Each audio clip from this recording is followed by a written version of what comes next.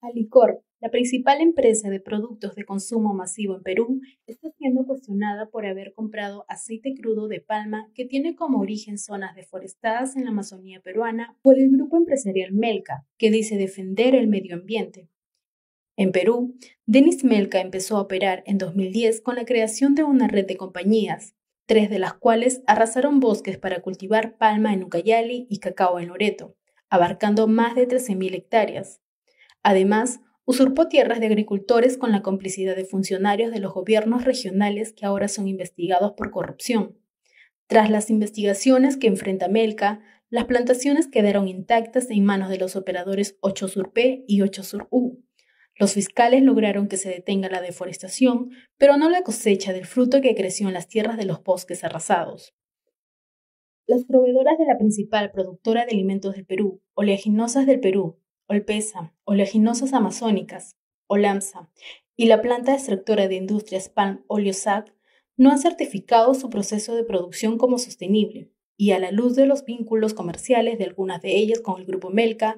sus gestiones de certificación como compañías amigables con el medio ambiente son contradictorias. Pocos días antes de publicarse un reportaje por Convoca.p en mayo de 2018, Alicor confirmó que le compraba a estas compañías hasta 4.500 toneladas de aceite crudo de palma cada mes, principalmente a Olamsa, miembro de la Mesa Redonda por el Aceite de Palma Sostenible, con 3.100 toneladas, es decir, el 69% del total. Sin embargo, el gerente general de la empresa, el ingeniero industrial Rubén Meléndez Rosell, aseguró por esos días que Alicor le compraba más del 90% de su producción. Se conoció después que Alicor tuvo una reunión con los representantes de las plantas extractoras que le vendían el aceite crudo y a la vez hacían negocio con Melca, pero la compañía evitó contestar sobre esas reuniones y siguió evadiendo los cuestionamientos. En el 2019, la Mesa Redonda por el Aceite de Palma Sostenible rechazó una queja presentada por la comunidad chipiva de Santa Clara de Uchunya de Ucayali contra Licor. En la queja, la comunidad chipiva solicitaba a la RCPO emplazar a Licor para que desista de adquirir aceite de palma que provenía de los bosques amazónicos deforestados por Ochosur PSAC y de las empresas que compraban frutos de palma al grupo Melca por considerarlos responsables de la deforestación, así como de la violación de los derechos de la comunidad de Santa Clara de Uchunya pero el gerente de solución de controversias de la RSPO consideró que Alicorp no es ni el agricultor involucrado en las supuestas reclamaciones sufridas por la comunidad afectada, y tampoco es la empresa productora del aceite que compra los frutos de palma. A fines de diciembre de ese mismo año, el fondo soberano de inversión más grande del mundo, Norges Bank, decidió retirar todas sus inversiones de Alicorp luego de que se revelara que la empresa adquiría aceite de palma de una plantación asociada a graves violaciones de los derechos territoriales de los pueblos indígenas y a la deforestación en la Amazonía peruana.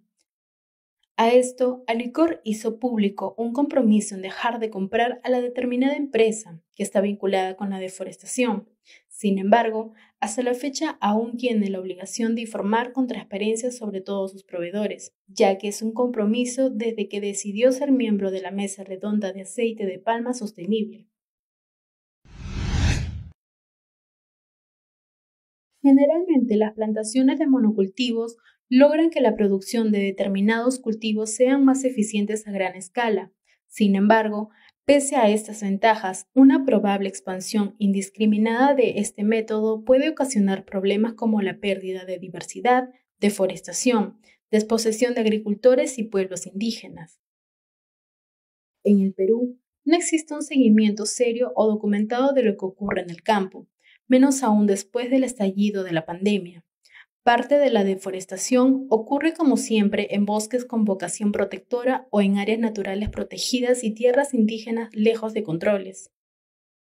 Las familias que aún viven en alrededor de las plantaciones sienten amenazada su permanencia en el territorio ante una inminente expansión de monocultivos. Además, cabe señalar que en el caso de las plantaciones de palma, estas se fumigan con pesticidas por avioneta, cuyos componentes son perjudiciales no solo para las fuentes de agua, sino también para la salud humana, la flora, fauna silvestre y las áreas de policultivo de sobrevivencia. El Estado peruano no ha tomado medidas concretas para regular la expansión de los agronegocios en bosques amazónicos. De no contar con normas claras y efectivas, nuestra Amazonía continuará sufriendo los mismos golpes que se han generado en distintas localidades.